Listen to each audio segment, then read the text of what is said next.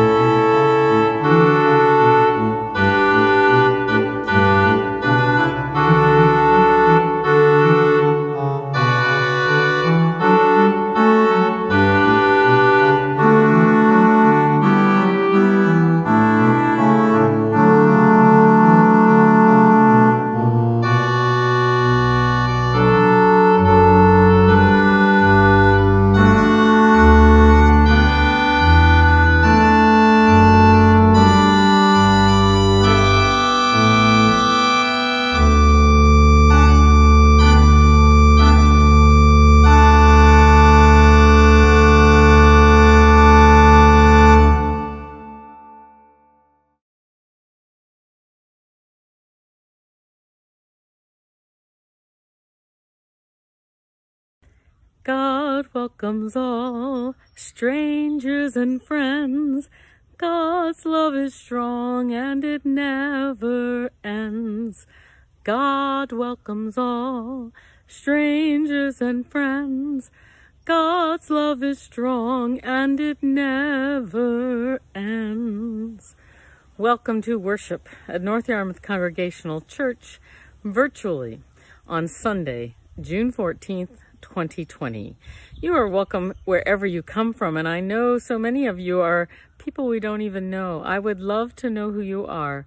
So if you could, would you please message us on our Facebook page or send an email directly to me at my church email address, nyccrevnancy at gmail.com. We'd love to know where you're worshiping from, and we are glad that you are with us today. We are glad wherever you are on your faith journey, your life journey, you are welcome here. And we are glad that you have decided to worship with us this day. Now let us all join together to prepare for worship by lighting a candle, symbolizing the light of Christ, which gathers us virtually together. Call to worship from Psalms 42 and 43. Come, all you whose souls thirst for the living God. We come in search of help and hope. Come, you who are acquainted with grief or oppression. We come bearing our doubts and our wounds and our fears. Come, you who are in need of good news. We come in search of joy, truth, and light. Come and find refuge in God your rock. Let us again praise the one who is our help and our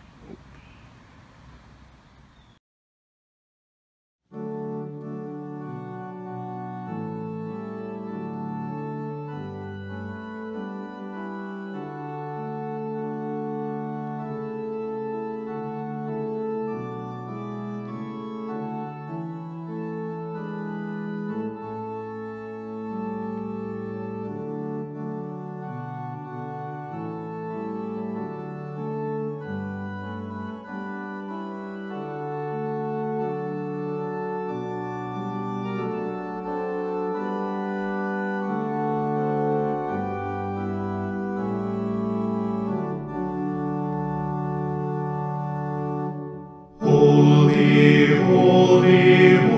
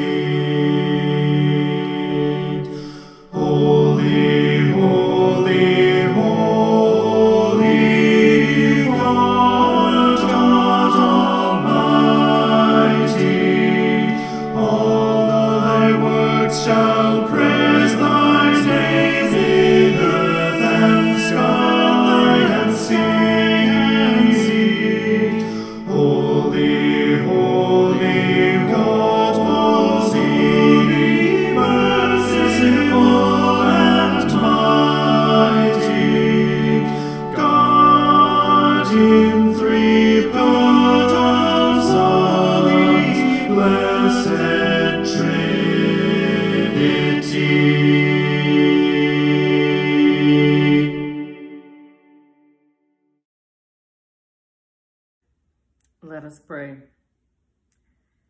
Almighty God, we come to you in the midst of our joy and brokenness, as individuals, as families, and as a community. Move among us during this hour of worship. By the power of your Holy Spirit, turn us from our foolishness to your truth in our thoughts, prayers, and songs, and in all our living. We pray in the name of Jesus the Christ. Amen.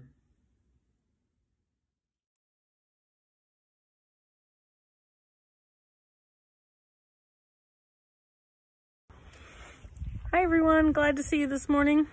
I'm going to share a little bit from you. I just pulled, the, I just found this book on my bookshelf that I haven't read in years, but I remember it.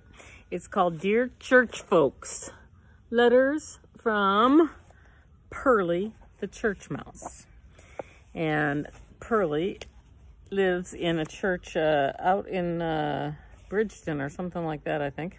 Anyway, he wrote letters and there's a whole book of letters. So I thought I would share with you. This one is about singing in church. And we're going to talk about that a little bit more in my sermon. We all have favorite songs in church and it's really hard right now as we think about not singing in church because apparently singing really spreads germs faster than almost anything else, which is really sad. And it's okay to be sad about that. Um, Pearlie, the church mouse, is, is, talking about all the favorite hymns that everybody has. And I know you all have your favorite hymns. And um, I know the Smith family likes uh, It Only Takes a Spark. And I know my dad liked uh, What a Friend We Have in Jesus. I like that one too. And uh, my mom liked Joyful, Joyful, We Adore Thee. And I know that some of you really like How Great Thou Art. And others that are beautiful songs and hymns. And it is sad that we aren't going to be able to sing them together for a while, at least for the time being. But we will again, and it will be a joyful day. And we have to think of ways to sing at home right now. So actually, Pearlie is talking about a song called All Things Bright and Beautiful. And um, I think you all might remember it. All things bright and beautiful, all creatures great and small, all things wise and wonderful, the Lord God made them all. And Pearlie wrote another verse because he thought surely that whoever wrote that song forgot a verse. So let me sing you the verse that Pearlie wrote. Pearlie the church mouse. All things bright and beautiful, all creatures great and small, all things wise and wonderful, the Lord God made them all. The tiny furry church mice that scamper through the pews, the friendly little church mice that keep us so amused. and I went a little off on the tune there at the end, but you know what? That's okay. Sing, sing at home, sing with your family. And, you know, whatever song you know, and enjoy it. Sing together, sing grace at table uh, for before supper and just sing where you are able to sing. And you know what? God will hear it. And that's the, the joy of our singing. Even when we're all together in church, we want God to hear it. So God will hear us even if we're singing in our backyard. So sing. And then one day, when it's, when it's safe again, we will sing together in church. And it's okay to be sad that we can't do that right now. But remember, you can sing at home and it doesn't matter what your voice sounds like and it doesn't matter if you sing on key or uh, you know if you get the words wrong it's all good. Sometimes when i'm singing a song that i think i know i forget the words in the middle and so i just start humming. And that's okay too. So sing and be joyful. I know you're all probably kind of getting out of school now i think. So hopefully your summer days will be good and you'll be able to sing some new songs to the lord. See you soon.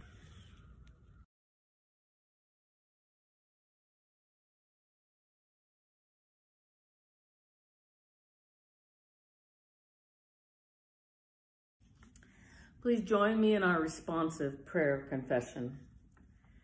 We confess, O God, that we often find ourselves distracted by a legion of destructive voices that make false promises Surely these are our inner demons. We believe safety and security can reside in ample bank accounts. We think that success leads to real happiness. We equate power with dominating others. We hold fast to pain and anger as if they were treasure in a chest. We soothe our fear of failure with substances that do harm. We feed our hunger for love and approval with food that does not satisfy. Break hold of the chains that bind us, O God. Set us free from the tombs in which we dwell.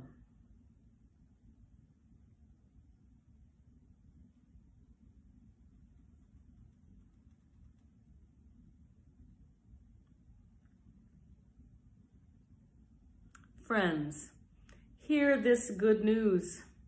In Christ, God calls us forth from the tomb to the light of new life.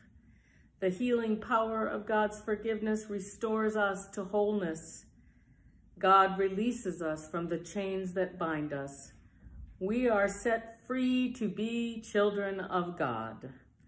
Thanks be to God. Amen.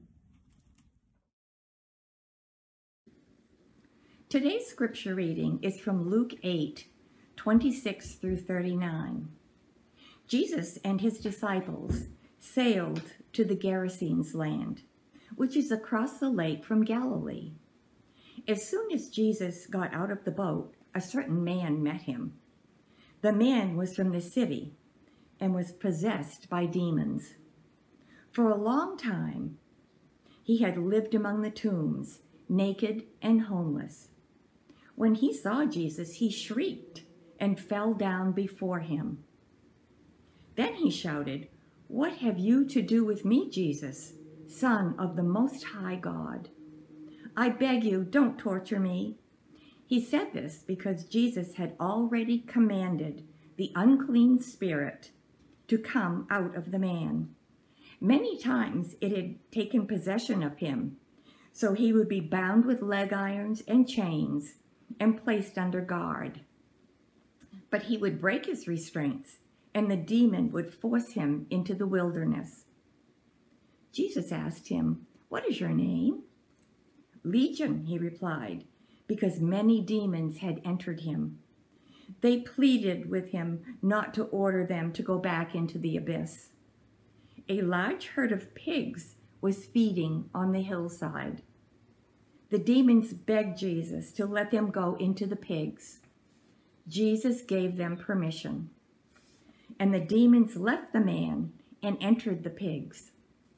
The herd rushed down the cliff into the lake and drowned. When those who tended the pigs saw what happened, they ran away and told the story in the city and the countryside. People came to see what had happened. They came to Jesus and found the man from whom the demons had gone.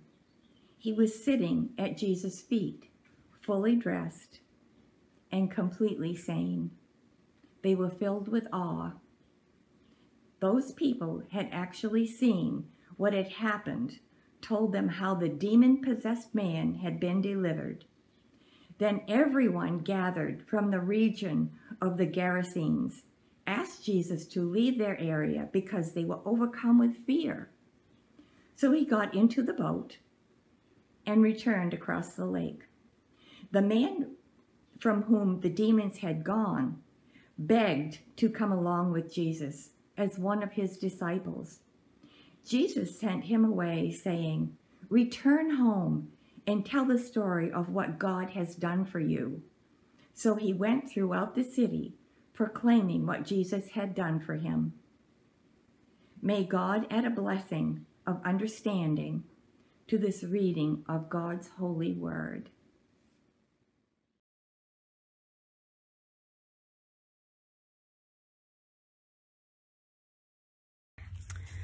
Let us pray.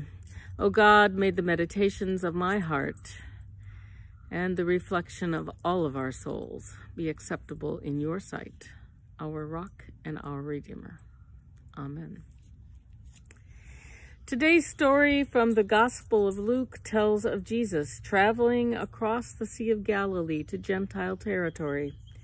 Gentiles, as you may recall, were not Jews. They were not God's chosen people, according to the Jewish faith. And yet this is where Jesus, a devout Jewish man, goes to minister to those in need.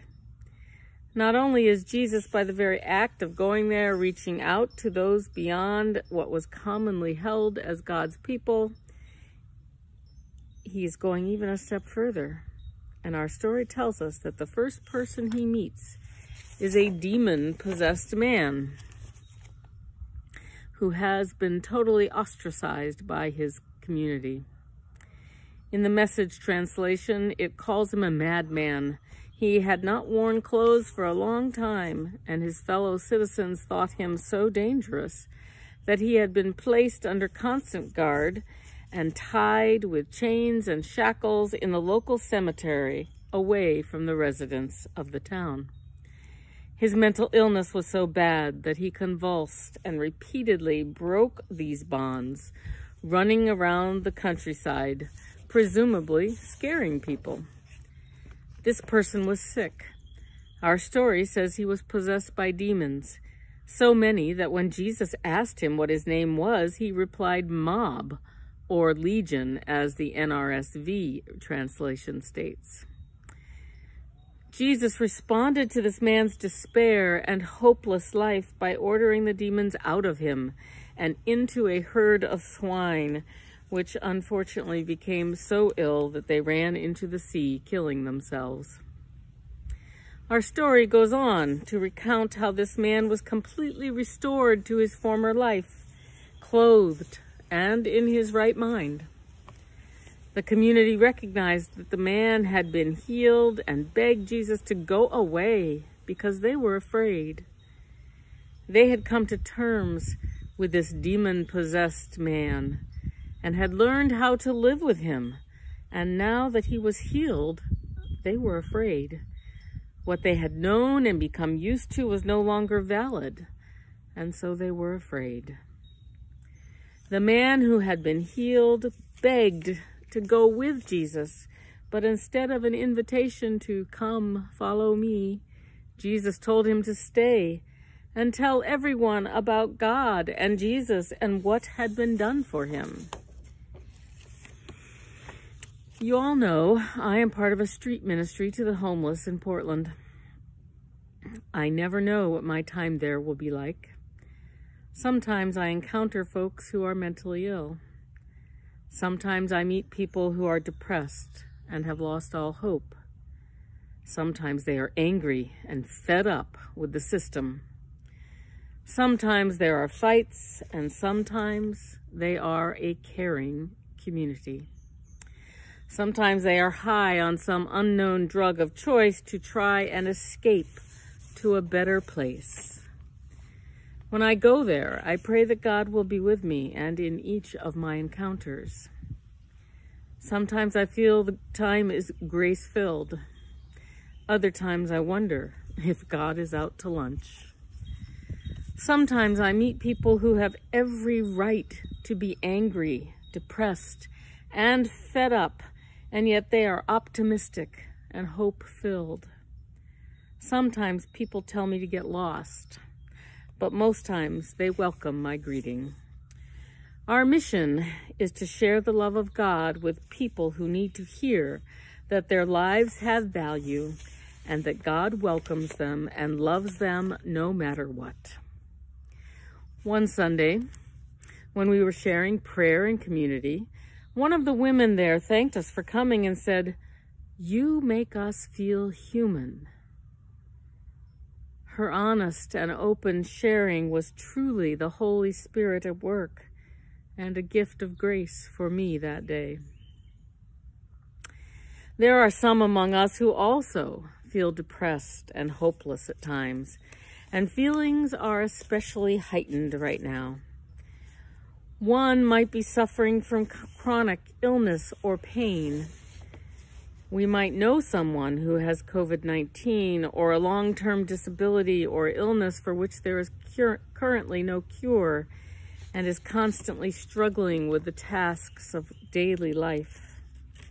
Another might be grieving so that they see no hope and have lost the joy of living. One might be brought down by the loss of ability to perform some task or artistic gift which they can no longer physically handle. Some feel lost and even wonder, My God, my God, why have you forsaken me? In the desperate circumstances life has seemed to throw at them. These people these situations are all around us, whether we know it or not. One of the hardest things for us to do is honestly share with others our feelings and what we are going through And then for those of us in a good place, we need to share our experiences of how we know God is in our lives. We need to do this, however difficult the first time might be, either one-on-one -on -one or as part of our worship together. For this is how we grow in our relationship with God, and it is how we grow as God's family. Our mission as a church family is to share the love of God with each other, with people who need to hear that their lives have value and that God will never leave them and loves them no matter what. Perhaps you are in one of those low, hopeless spots right now, and you wonder where God is. God is with you. God comes to you in your despair. God loves you. God comforts you. God applies healing balm to your soul. It's a message I will never, ever stop repeating. It may not be instantaneous, but the hope of healing and restoration is yours and mine, no matter what. I know from talking with a number of you that you are longing for all this to be done and gone and for things to be back the way they were. It doesn't look like things will get back to the way they were anytime soon. Maybe never. We are probably looking at a new normal in our world. Things will be different. And some of the new things might just be wonderful and amazing.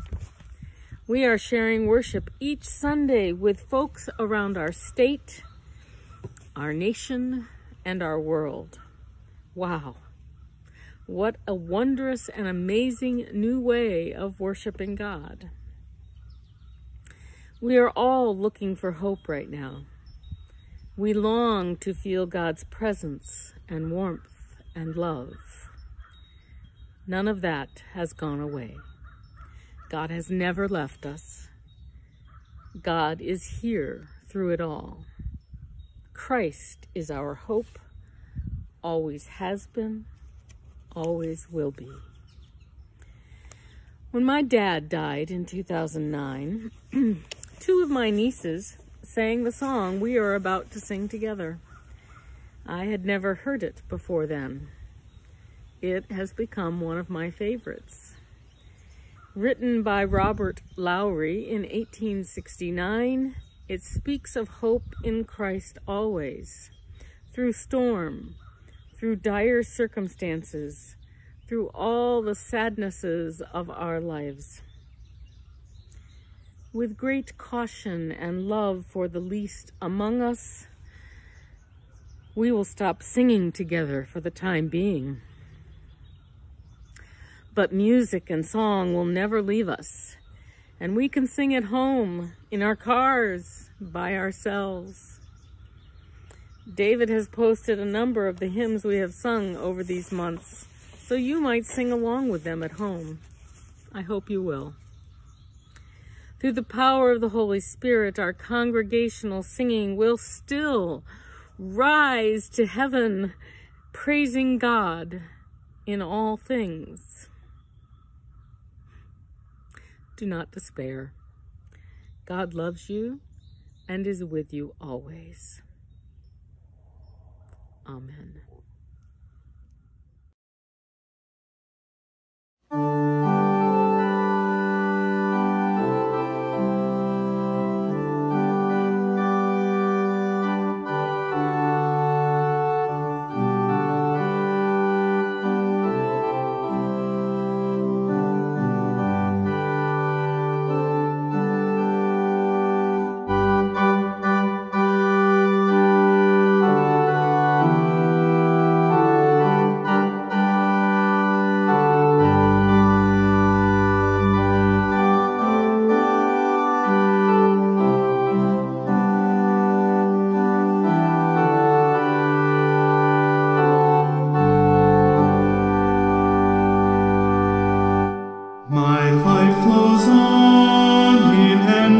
Song above earth's lamentation.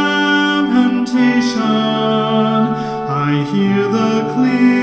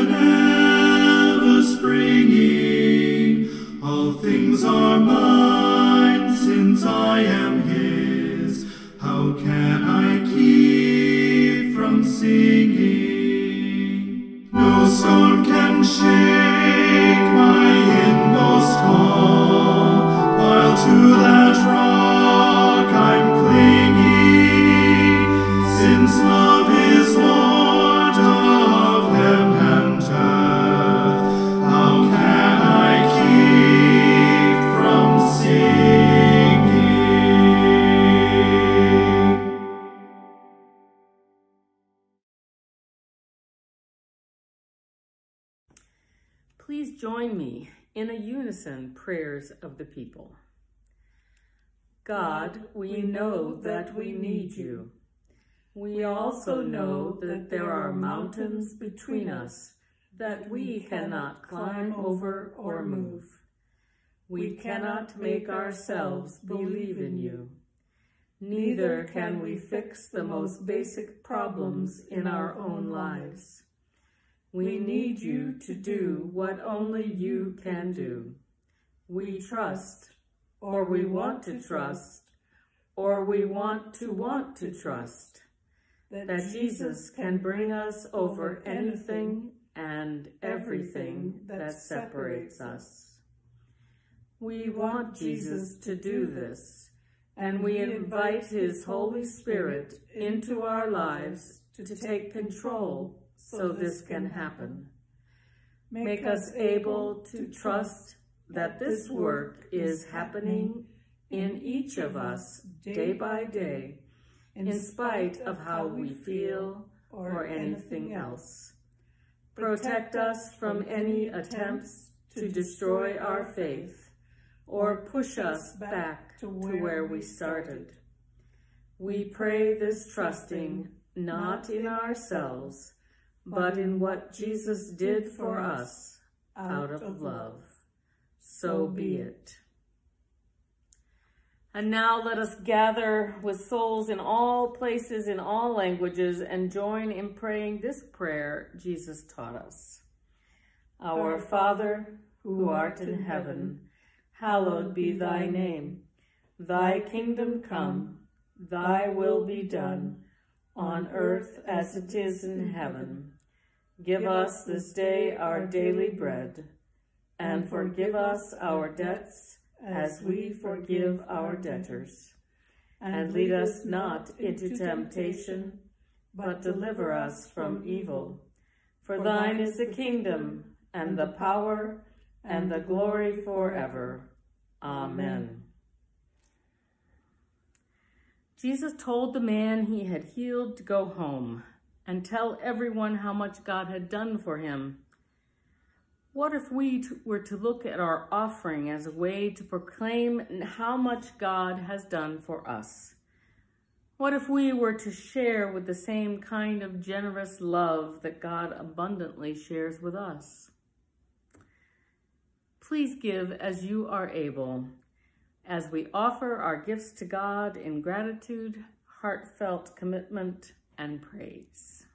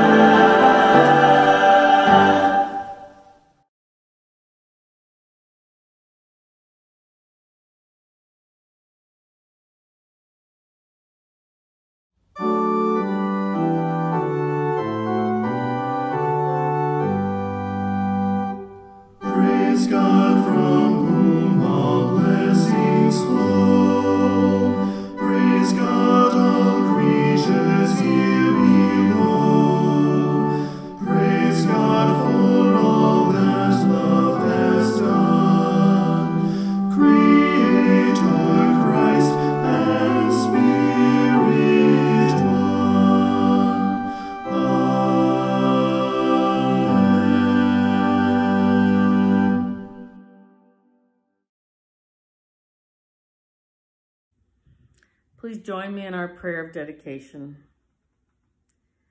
Loving God, we share what we have because you share so abundantly with us. May our sharing be an act of thanksgiving and praise for all you have done and all you will continue to do for us. We dedicate these gifts and offer ourselves to your service. Bless us and our gifts, that we might be a source of help, hope, and joy to a world in need. With grateful hearts we pray. Amen.